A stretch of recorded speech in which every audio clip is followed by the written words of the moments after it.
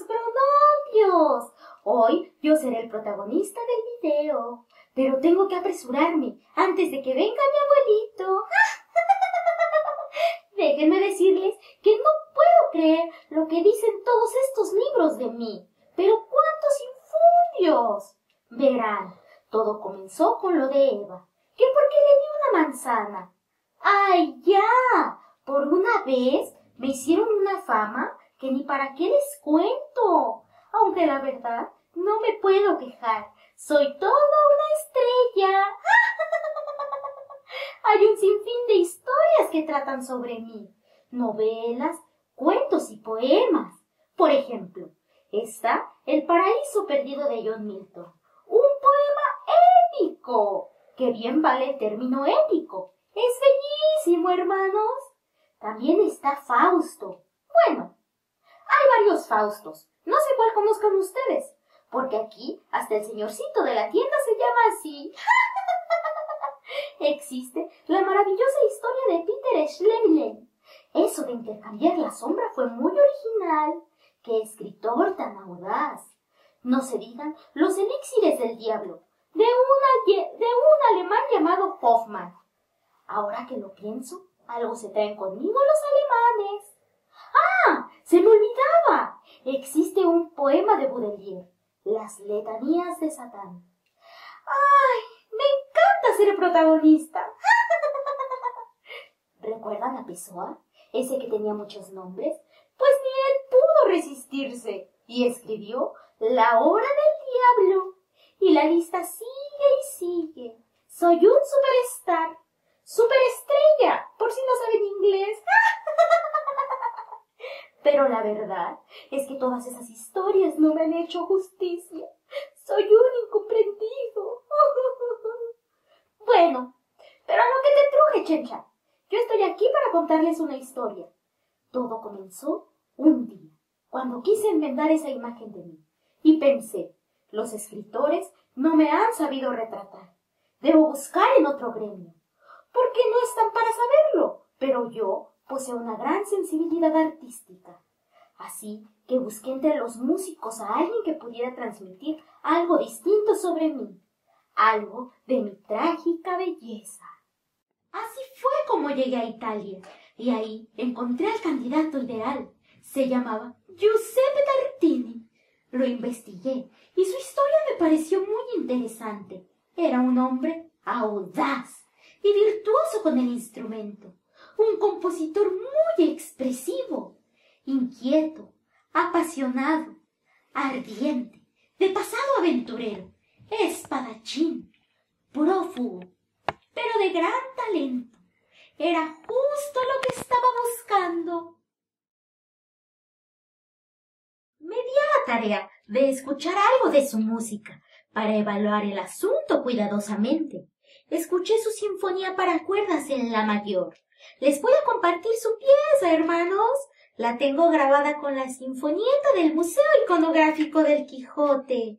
Esos del MIC hacen de todo. Hasta una sinfonieta tienen. Están locos. y su director, el tal Trigos, pasará a la historia. Ya lo verán. bueno, ponle play, hermano.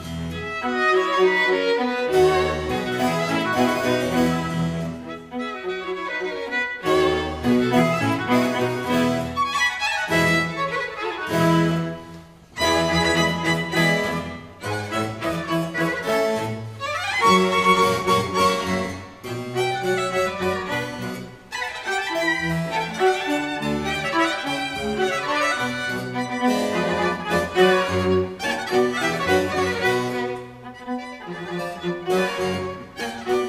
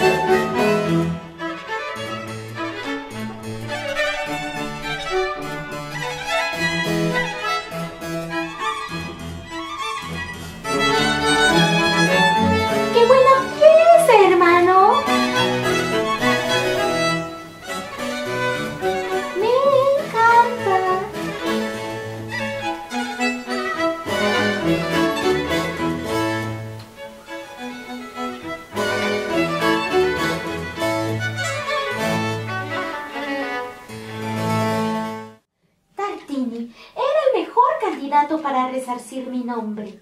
Me gustó tanto su música que urdí un plan brillante. Como él estaba en duelo con Vivaldi por ver quién escribiría la pieza más virtuosa para violín y quién sería el mejor ejecutante del instrumento, decidí ayudar a Tartini en esa contienda, para que a través de esa obra mi nombre perdurara a través del tiempo en la música, tras mis tristes fracasos en la literatura. Bueno, ya no digamos en el cine. A Tartini se le atribuían poderes sobrenaturales. Las personas, más bien las buenas señoras, le temían y creían que tenía un pacto conmigo. Tartini. Pero eso no era cierto. Al ver que no le importaban esas habladurías, Pensé que no me temería como otros. Entonces compuse la pieza para violín más bella que se haya escuchado jamás y se la entregué. Quise tomar precauciones y para que la impresión no fuera tan fuerte, me presenté en sus sueños. Esperé a que se fuera a dormir y aparecí ante él.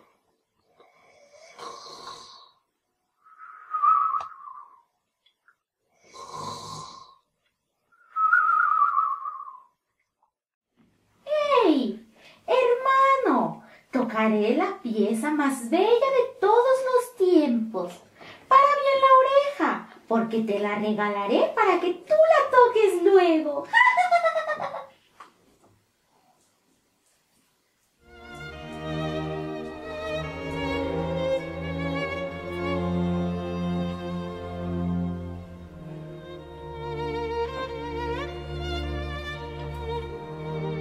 Una noche en 1713, soñé que el diablo tocaba para mí una sonata inejecutable. Mi asombro fue enorme cuando lo escuché tocar con gran bravura e inteligencia. Una sonata tan singular y romántica como nunca había oído antes. Tal fue mi maravilla, éxtasis y deleite, que quedé pasmado y una violenta emoción me despertó. Inmediatamente tomé mi violín, deseando recordar al menos una parte de lo que había escuchado, pero me fue en vano. La sonata que compuse entonces es, por lejos, la mejor que he escrito. Una llamó la sonata del trino del diablo, pero resultó tan inferior a lo que había escuchado en sueños que me hubiera gustado romper mi violín en pedazos y abandonar la música para siempre. Giuseppe escribió la pieza casi como yo la interpreté en el sueño. Puedo decir que estoy satisfecho